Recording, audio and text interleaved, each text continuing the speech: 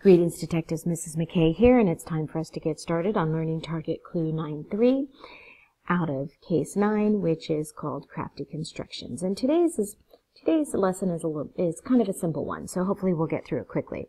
It's all about translation. So we're going to start by filling in our learning target clue, which is I can translate.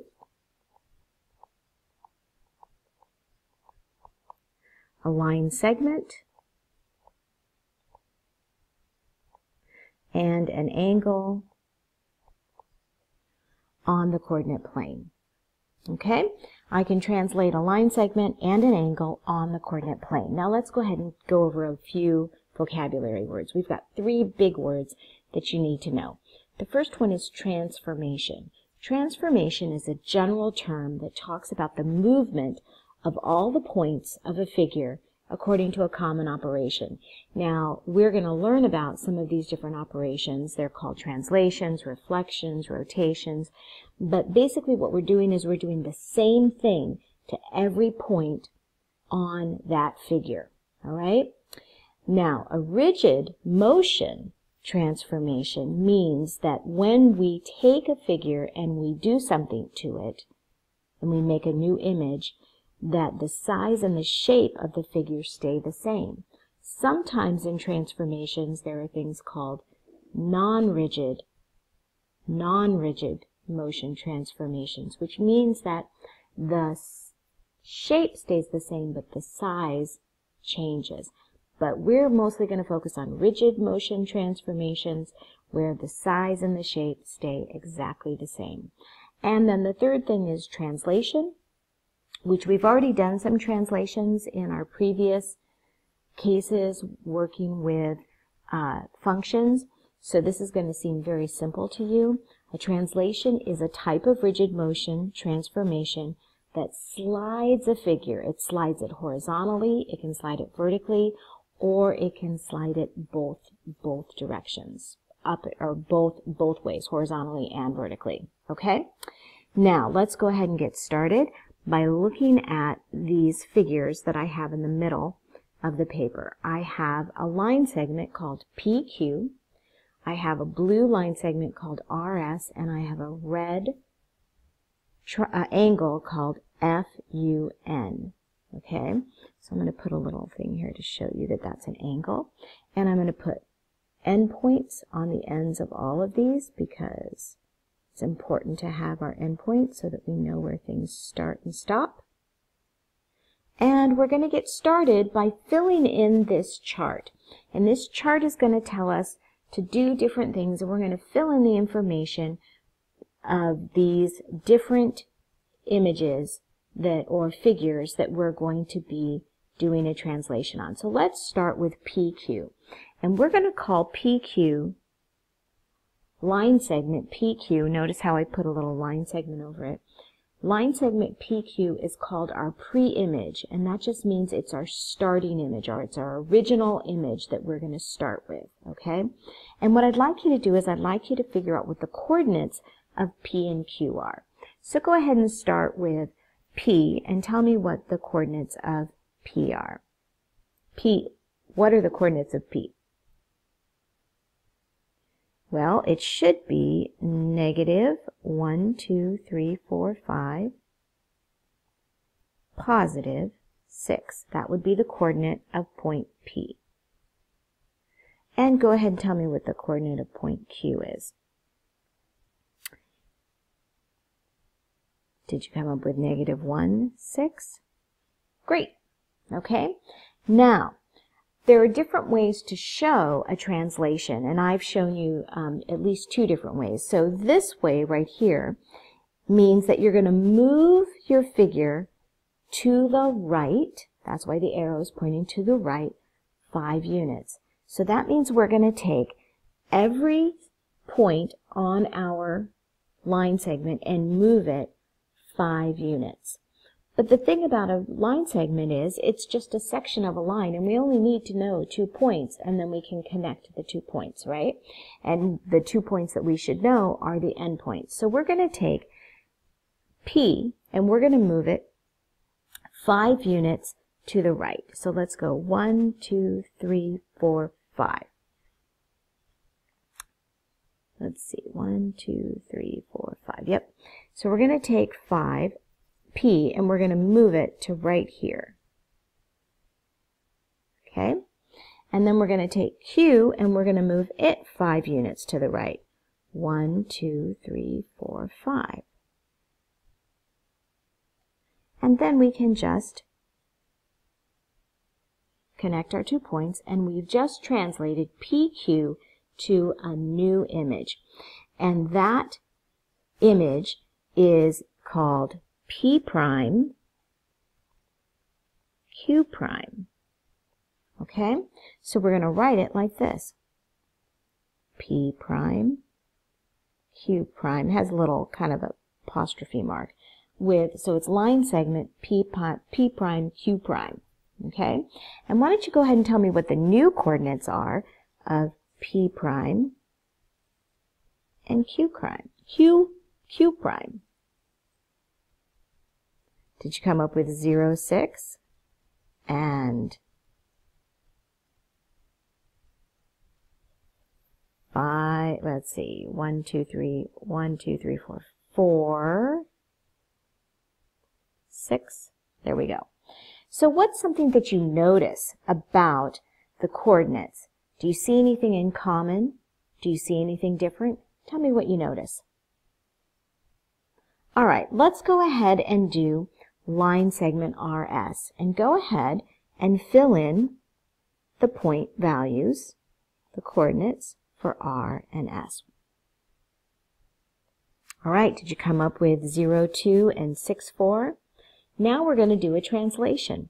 So what's the translation? Well, this time my arrow says that I'm going to go down three units. So that means every point is going to move down three units. And But all I have to do is move the R and the S. So let's translate the R first, down three units. So we're going to go, mm, I also want to change my color. We'll try this one. One, two, three and one, two, three, and then I can draw my line, and let's go ahead and write our new line segment is R prime S prime. Okay? Now if I wanted to translate R r prime s prime to a new location, like let's say I wanted to move it down even further, I wanted to move it to the left or move it to the right, then I would write it as r double prime with, with two little tick marks, okay? But right now we're just going to do these ones. So let's see, we had r prime, uh, s prime, might help if I could write correctly,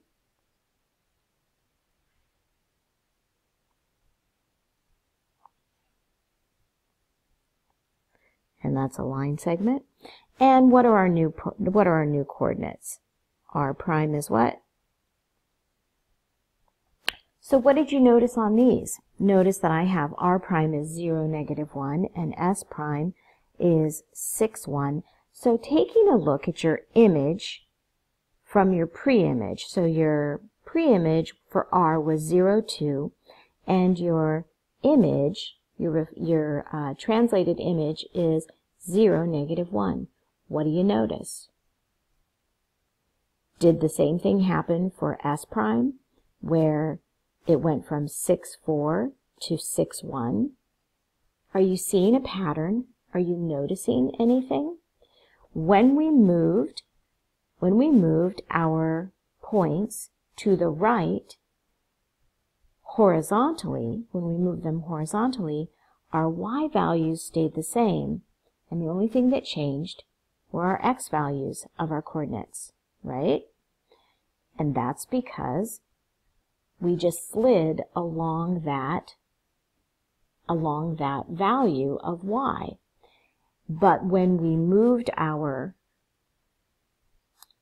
images down, then our x values stayed the same and our y values changed. Notice that when we move to the right, our, our x values increased by the number of units that we moved on our coordinates. And when we move, when we move down, our y values decreased, meaning we subtracted the units from the y value. Those are important things to know and pay attention to. Let's go ahead and do this angle now. The angle is just two line segments that need to be translated, isn't it? It's just two line segments that are put together. So we're going to go ahead and first of all say that this is angle F-U-N. So we write it like that with an angle sign in front of it. Actually, it's more like this. It's kind of straight. And let's go ahead and write the original coordinates for F, U, and N. So go ahead and do that. Okay. I hope you got the same things that I did, and if if uh, you didn't, it's likely that I did it wrong, or maybe you did it. So let's both double check. So F is at 8. 1, 2, 3, 4, 5, 6, 7, 8. Yep, see, I made a mistake. 1, 2, 3, 4, 5, 6, 7, 8, 9. So that should be 9. 9, negative 2. So I fix that. And then U should be at 1, 2, 3, negative 1, 2, 3, 4. So 3, negative 4. And N should be at 9, negative 1, 2, 3, 4, 5, 6, 7. 9, negative 7. So that's a 9, negative 7. Now, let's take a look at this new way of writing a translation. Here's my translation. I don't, I not only want to move it horizontally, but I also want to move it vertically. So take a look what I've done is I've written it in this coordinate notation. I'm saying that every x value is going to be negative 7, meaning I'm going to take the x and I'm going to move it 7 in the negative direction, and I'm going to take the point and move, make the y be plus 2. So I'm going to take every point, I'm going to start with f, I'm going to move it negative 7 and up 2. Okay? So over 7 and up 2 or back 7 up 2. So let's start with my um, F. I'm going to go 1, 2, 3, 4, 5, 6, 7, 1, 2. So that becomes my F prime. Okay? And then I'm going to do the same thing for my U. I'm going to go 1, 2, 3, 4, 5, 6, 7, up 2. And that becomes U prime. And then my n, 1, 2, 3, 4, 5, 6, 7, up 2 becomes n. And then I just connect my points. And you can see that I've now taken my image and I've translated it over and up, over and up. Go ahead and, uh, let's go ahead and write our new angle f prime, u prime, n prime, and go ahead and give me the new coordinates. Now here's what I came up with. For f prime, it was 2, 0, 1, 2, 0. At u prime was negative 4, 1, 2, 3, 4, negative 2. And n prime was 2, negative 1, 2, 3, 4, 5. So, oops, make that be an n prime. So there we go. Now, you could also, you didn't have to actually look at the graph and do this. You could just take your 9 and minus 7, you got 2, and your negative 2 and add 2, you get 0. So notice that the minus 7, the plus 2, if you just do that to your pre-image coordinates, you're going to get your um, new image. Okay, that's it for translations, there's a few don't forgets. The transformation happens to every point on the figure. And if you'll notice, the lengths of the images and pre-images remain the same. I'll see you in class.